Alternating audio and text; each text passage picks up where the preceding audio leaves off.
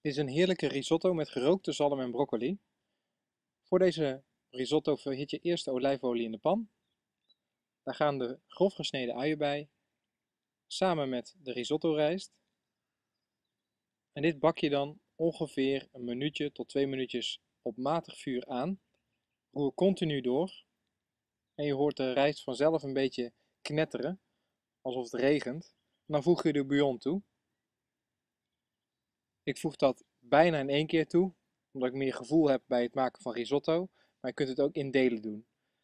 Tegelijk voeg je ook de broccoli toe. Dit breng je dan wederom aan de kook. Daar gaat een gehakt teentje knoflook bij. En onder voortdurend roeren neemt de rijst langzaam de bouillon op. Na 15 minuten is de risotto rijst bijna gaar. Dan gaat er een klontje boter bij. Dat roer je tot het gesmolten is. Vervolgens voeg je de gerookte zalm toe en peper. Dit meng je nog eventjes. En dan heb je een heerlijke risotto. Eet smakelijk.